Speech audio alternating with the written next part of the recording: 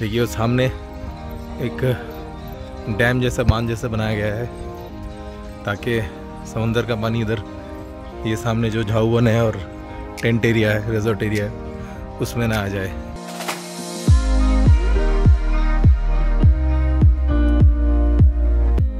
Hello guys, एक नए blog में आप लोगों का स्वागत करता हूँ फिर से। अभी फ़िलहाल वीकेंड तो नहीं है, लेकिन रिपब्लिक डे का एक हॉलीडे है, और उसके बाद वीकेंड है तो मैनेज करके मैं तो रह नहीं पाता हूँ घर पे तो मैं तो निकल पड़ा गई इस बार का डेस्टिनेशन एक स्मॉल बीच टाउन है वेस्ट बंगाल में ही मैं डिटेल्स आपको बाद में बताऊँगा। अभी मैं आज कोलकाता में हूँ, अपने हॉस्टल में चेक इन कर गया हूँ। एक बार मैं आपको, अपना, आपका हॉस्टल दिखा देता हूँ। ये रूम है बंक बेड्स है। वो ऊपर वाला बेड बंक बेड मेरा है। अच्छी बात है, यहाँ पे अटैच वॉशरूम है एक। क्लीन है।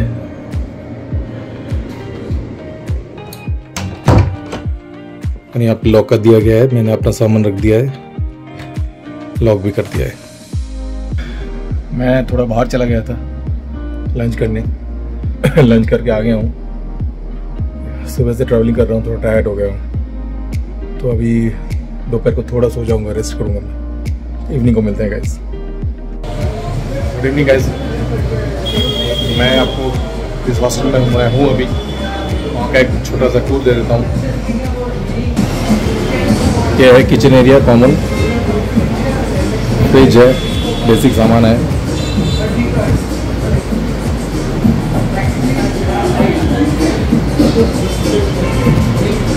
सामने पार्क स्ट्रीट के नज़ारे।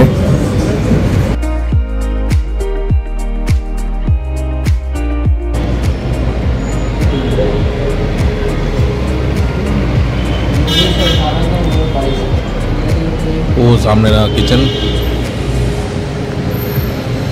और ये है बालकनी एरिया यहाँ पे बैठे हैं हम लोग। और वहाँ पे, वहाँ से अगर जाएँगे आप तो फिर आएगा कॉमन एरिया मॉर्निंग गाइज़ सुबह के सात बज रहे हैं। मैं अभी हॉस्टल से चेकआउट करूँगा। रेडी हो गया हूँ मैं। तो मोबाइल चार्जिंग में डाला है। वेट कर रहा हूँ। यहाँ से बस स्टैंड जाऊँगा मैं। बस स्टैंड वहाँ से बस है मेरा। मेरे नेक्स्ट डेस्टिनेशन के लिए। हालाँकि बस स्टैंड ज़्यादा दूर नहीं है यहाँ से। सामने ही है। चलिए, फिर। आज का जर्नी चालू करते हैं। तो गाइज़ मैं अभी बस स्टैंड पहुँच गया हूँ।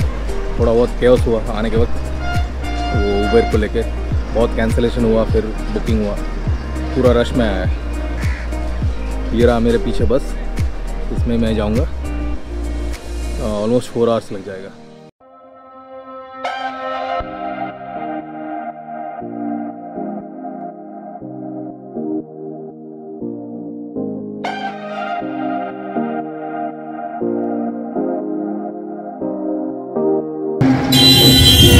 Guys, मैं उतर चुका हूँ अभी बस स्टॉप में रिजॉर्ट की तरफ़ टेंट की तरफ़ फ़ोटो कर लिया मैंने.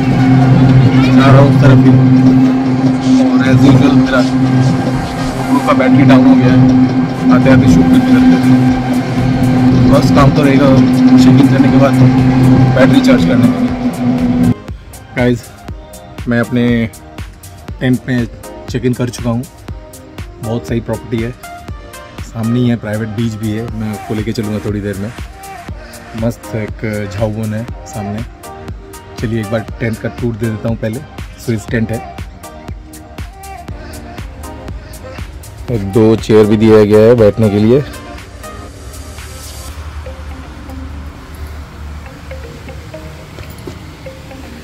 डबल बेड है। टीवी भी है। फ़ैन, लाइट, ये सब दिया गया है प्रॉपर। और एक टेबल भी है। इसके साथ है एक अटैच वॉशरूम सही है वॉशरूम क्लीन है। कोमोड सिस्टम है। और सिंस ये एक कोस्टल टाउन है, थोड़ा गर्मी होता है, इसीलिए एसी भी है। लेकिन चार्जेबल है। जो रेंट है रूम का जो रेंट है, उसके साथ चार्जेबल है। पर डे शायद कुछ 300 या 500 करके है। वैसे मुझे तो एसी लगेगा नहीं फिर भी। और गीज़र फैसिलिटी भी है। तो मैं आपको फाइनली बता देता हूँ मैं कहाँ पे आया हूँ। मैं हूँ अभी बौखली में। बौखली एक कोस्टल विलेज है वेस्ट बंगाल के साउथ चौबीस परगना डिस्ट्रिक्ट में जो नामखाना ब्लॉक के अंडर आता है। आ, ये एक्चुअली टूरिज़्म और फिशरीज़ के लिए फ़ेमस है ये अपकमिंग टूरिस्ट स्पॉट है। और फिशरीज़ का बहुत बड़ा मतलब स्टेट गवर्नमेंट का फिशरीज़ डिपार्टमेंट का बहुत इन्वॉल्वमेंट है इस बौखली द्वीप के साथ। ये द्वीप ज़रूर है, लेकिन पहले जैसे कि थोड़ी देर पहले एक फुटेज दिखाया मैंने आपको एक नदी क्रॉस करते हुए। वो नदी का नाम है हाथानिया दुआनिया नदी। उसके ऊपर ब्रिज बन गया है, इसीलिए बस डायरेक्टली बौखली बस स्टैंड तक आ जाता है। पहले ऐसा नहीं था। पहले हाथानिया, दुआनिया नदी नदी को क्रॉस करना पड़ता था बोट के थ्रू इसलिए अभी ये बौखली द्वीप एक्चुअली द्वीप नाम रह गया है, लेकिन मेन लैंड से जुड़ गया है। अभी फटाफट मैं फ्रेश होऊँगा। मैंने सुबह नाश्ता भी नहीं किया है। और बौखली के बारे में और भी ज़्यादा कुछ मैं बताऊँगा आपको। जब मैं लंच के बाद बाहर जाऊँगा, आज लोकली रहूँगा, अपने प्रॉपर्टी में ही रहूँगा। और कल मेन साइट सीइंग है यहाँ का। गाइज़ फ्रेश हो गया हूँ मैं। बहुत ज़्यादा भूख लग गया है। मैं जल्दी से लंच करूँगा अभी उसके बाद जो होगा प्रॉपर्टी बहुत सही है। इसका नाम है Bakkhali eco tourism and luxury tents main beach जो है, वहाँ से थोड़ा दूर है। करीबन one kilometre one point five kilometre लेकिन मैंने जानबूझ के ये लिया, क्योंकि इसमें एक प्राइवेट बीच है। जो खाने के बाद मैं आपको लेके चलूँगा। और आज का सनसेट वहाँ से एंजॉय करेंगे। मस्त है प्रॉपर्टी प्रॉपर्टी पूरा मैंने घूम, घूमा नहीं है। आप लोगों के साथ ही घूमूँगा मैं लंच करने के बाद। फटाफट लंच कर लेते हैं। फ़िश की फ़िश लंच किया। यहाँ पे क्योंकि कोस्टल रीजन है फ़िश फ्रेश मिलता है अच्छा मिलता है, इसलिए मेरा तो प्लान है फ़िश ज़्यादा से ज़्यादा खाने का। अभी थोड़ा धूप है, थोड़ा रेस्ट करूँगा टेंट की तरफ़ ही जा रहा हूँ। उसके बाद मैं प्रॉपर्टी घूम के दिखाऊँगा। सनसेट भी देखेंगे यहाँ पर। सामने जो प्राइवेट बीच है। और इवनिंग को मेन जो बीच है बकली का, वहाँ पे हम लोग जाएँगे। वहाँ पे बहुत अच्छा होता है। आपको दिखाऊँगा तब। और ये दो डॉगी पपीज़ मेरे दोस्त बन गए हैं। मेरे टेंट के सामने ही है। तब से हम मेरे को बुला रहे थे खेलने के लिए। मैं तो लंच के लिए चला गया। खेल नहीं पाया।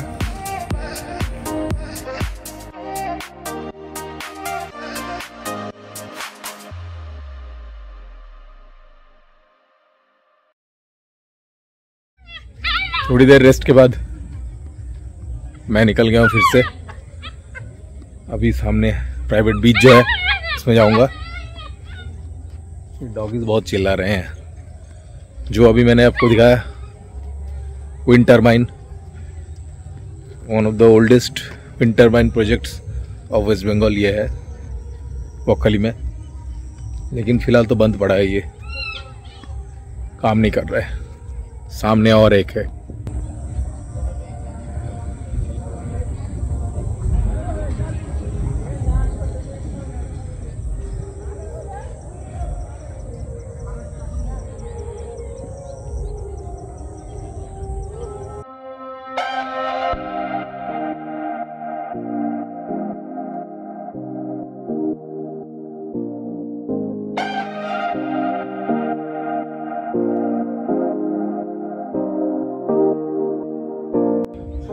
काफ़ी पीसफुल है। मस्त लग रहा है कि झाऊबन जस्ट क्रॉस करने के बाद ही सामने बीच दिख रहा है मुझे।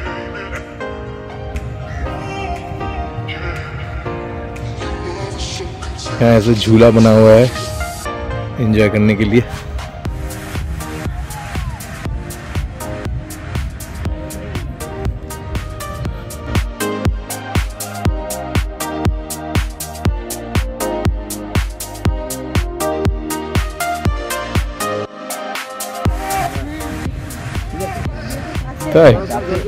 এখানে অব্দি জল চলে আসবে না আজকে আসবে না এই অমাবস্যা ছিল না আজকে জল আসবে ওটা হচ্ছে বাঁধ ছিল বাঁধ আছে ওটা। देखिए वो सामने एक डैम जैसा बांध जैसा बनाया गया है ताकि समंदर का पानी इधर ये सामने जो झाऊवन है और टेंट एरिया है रिजॉर्ट एरिया है उसमें ना आ जाए ये एक मेक अरेंजमेंट किया गया है।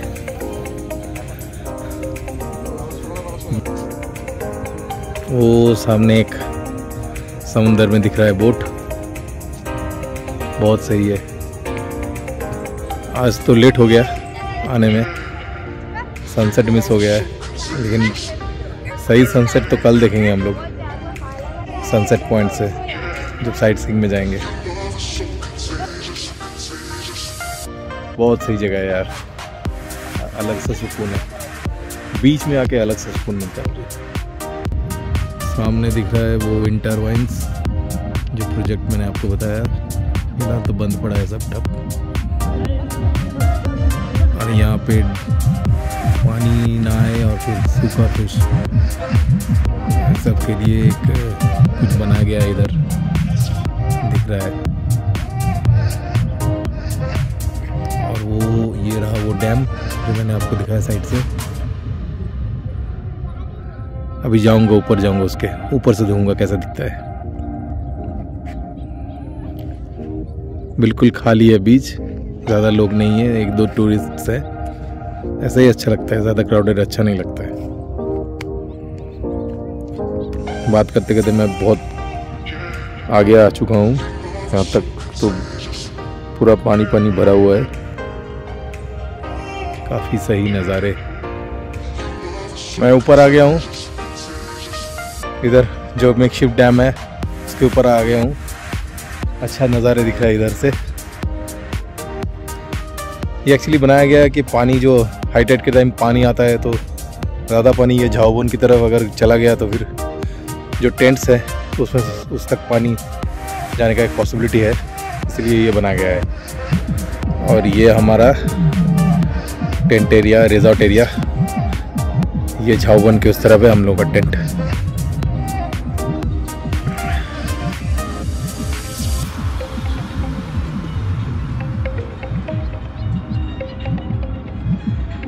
सामने है बे ऑफ़ बंगाल। एक्चुअली ये बीच दूसरे किसी बीच से थोड़ा अलग है पोखली का बीच। क्योंकि एक डेल्टा एरिया है। तो वाइट सैंडी बीचेस हम लोगों को मिलेगा उधर हेनरी आइलैंड जब हम लोग साइट सीइंग के लिए जाएँगे कल। और बोखली बीच भी एट ए स्ट्रेच पूरा वाइट सैंडी बीचेस ही है। लेकिन इधर थोड़ा अलग है। काफ़ी सही लग रहा है। वहाँ पे बीच पे तो बच्चे फुटबॉल खेल रहे हैं इधर। सामने बीच में अच्छा लग रहा है। ऊपर से अच्छा लग रहा है दिखने में বুঝো কি করে যে কখন ধরতে যেতে হবে মাছ সময় সময় থাকে আজকে তো পঞ্চাশ দিচ্ছি আজকে আটটার সময় দেওয়া হবে এই সময় আচ্ছা পঞ্চমীতে এরকম যাবে ষষ্ঠী থেকে নটা হবে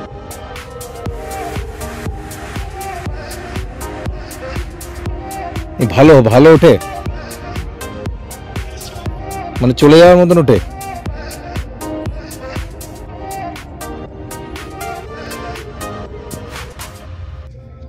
अभी उधर मैं एक फिशरमैन वाले भैया से थोड़ा बात कर रहा था कैसे वो लोग फ़िश पकड़ने जाते हैं रात को क्या टाइम देख के जाते हैं कैसे समझ में आता है कौन से दिन में जाने से फ़िश मिलेगा। तो ये सब एक्सप्लेन कर रहे थे अच्छा लग रहा था सुनने में। तो, सामने ये फ्रेजरगंज में ही सामने बेनफिश जो fisheries West Bengal fisheries development का जो बेनफिश हार्बर है उसमें तो कल हम लोग जाएँगे प्रॉपरली विज़िट करने के लिए। वहाँ पे और भी अच्छी तरह ये सब चीज़ देखने को मिलेगा। और एक्सप्लेन भी कर पाएँगे वो लोग। बहुत सारे बोट वहाँ से फ़िश आर थे एक्चुअली आर मतलब जहाँ पे फ़िश लाया जाता है और डिस्ट्रीब्यूट होता है होलसेल में।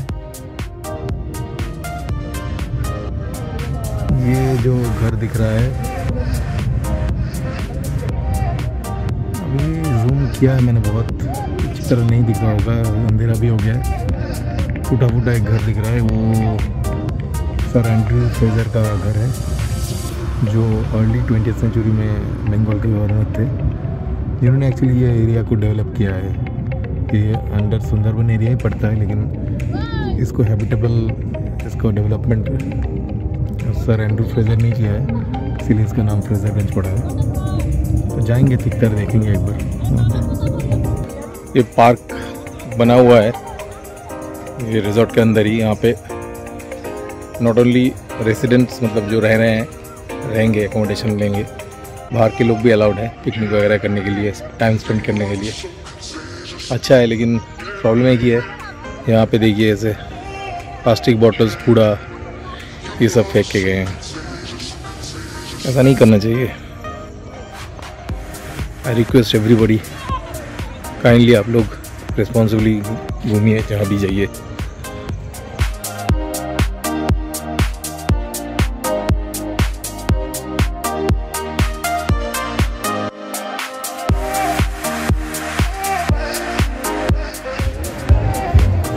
मैं पहुँच गया हूँ बोक्खली बीच के यहाँ बीच से पहले एज यूजल काफ़ी सारे शॉप्स सब दिख रहा है।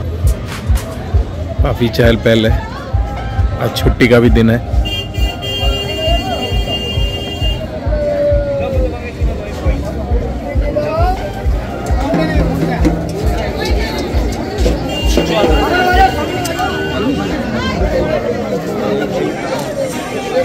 पहुँच गए बीच। मॉर्निंग को आप आएँगे इधर तो फिर पूरा ही कॉन्ट्रास्टिंग एकदम पिक्चर देखने को मिलेगा इधर। खाली रहता है पूरा। चहल पहल कम रहता है। और देखिए इवनिंग में।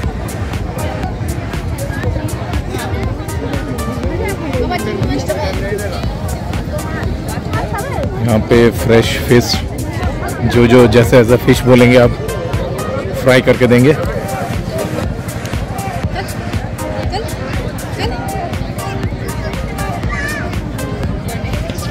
और लास्ट में आइसक्रीम शॉप्स लाइन से।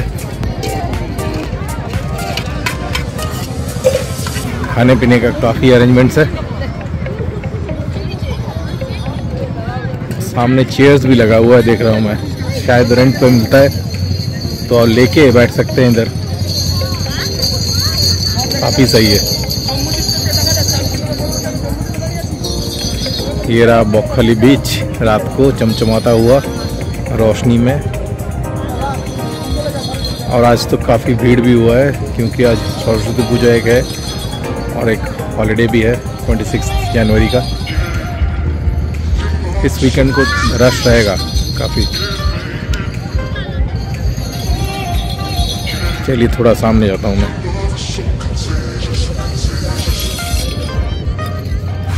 वैसे अभी लो टाइट चल रहा है तो पानी काफ़ी दूर है। तो चल चल के मैं जा पा रहा हूँ जितनी देर जितना तक लाइट है। रात को हाई टाइड के टाइम पूरा पानी इधर तक आ जाएगा। वैसे मैं कल जब साइट सीइंग में निकलूँगा मॉर्निंग को तो फिर बॉक्खली मेन बीच में भी आऊँगा। उधर से beach eight eight seven eight kilometre का स्ट्रेच है। इतना तो वॉक नहीं करूँगा मैं, लेकिन एक एंड में एक स्पॉट है, वहाँ पे रेड क्रैप्स निकलता है तो वो स्पॉट जाने का मेरा प्लान है। और मैंने बात भी कर लिया है टोटो वाले भैया से, लेके जाएँगे। तो डेफिनेट टाइम होता है एक, उसी टाइम पे जाना पड़ेगा आपको। तभी शायद आप स्पॉट कर सकते हैं प्रॉपरली तो देखते हैं लग कैसा जाता है। लेकिन अब फ़िलहाल तो बहुत सही लग रहा है इधर। गोवा वाली वाइज आ रही है।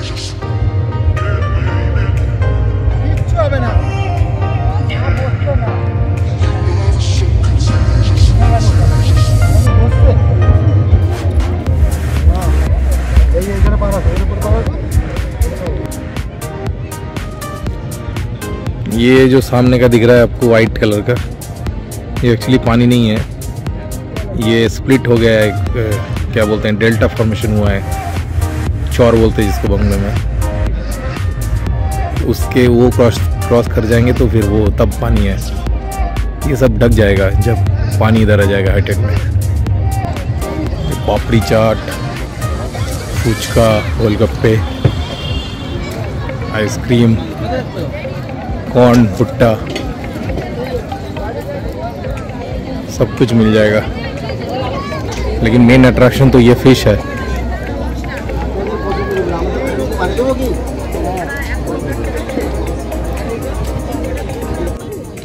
সে তো দেখছি আছে স্কুইড এ এ- এটা কি ওটা টুনা টুনা ফিশ এটা তো অক্টোপাস এটা এটা স্কুইড নাকি? না ওটা অক্টোপাস আর এই বড়টা এটা কি মাছ? সাদাটা? এই যে এটা এখানে লোকাল ফিশ নাকি? হুম সব রকম এটা? আইলা মাছ। আর বড় পমফ্রেটগুলো কীরকম দিয়েছ? একশো টাকা পিস আছে আশি টাকা পিস আছে। এই ছোটগুলো নাকি? ছোটগুলো কত? তিরিশ টাকা পিস আর এই প্লেটটা এই প্লে এক প্লেট নাকি? তোপসে এটা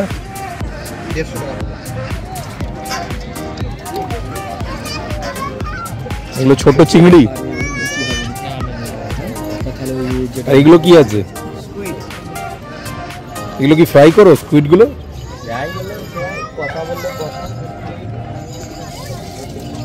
আর ওইটা কি মাছ আছে? এইটা? তোপসে কত দিলে? প্লেট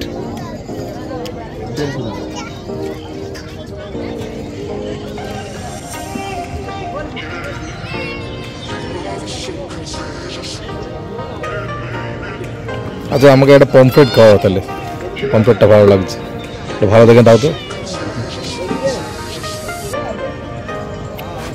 ফ্রাই করবে। না পকোড়া লাগবে না।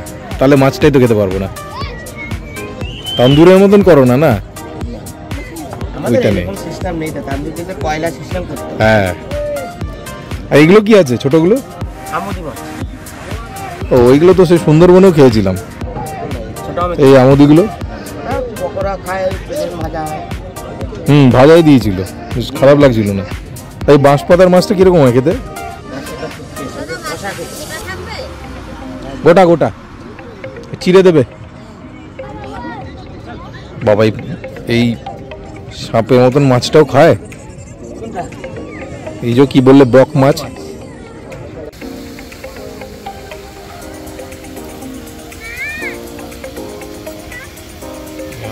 फ्रेशली प्रिपेयर करके फ्राई करके না না দিদি আমি একটু ভিডিও বানাচ্ছি देखिए यहाँ पे फिश काट के फ्रेश प्रिपेयर करके दिया जाता है। फ्राई बोलेंगे तो फ्राई, नहीं तो फिर पकोड़े बना के या फिर ग्रेवी। तो मैं अभी ट्राई कर रहा हूँ पॉम्फ्रेट फ़िश।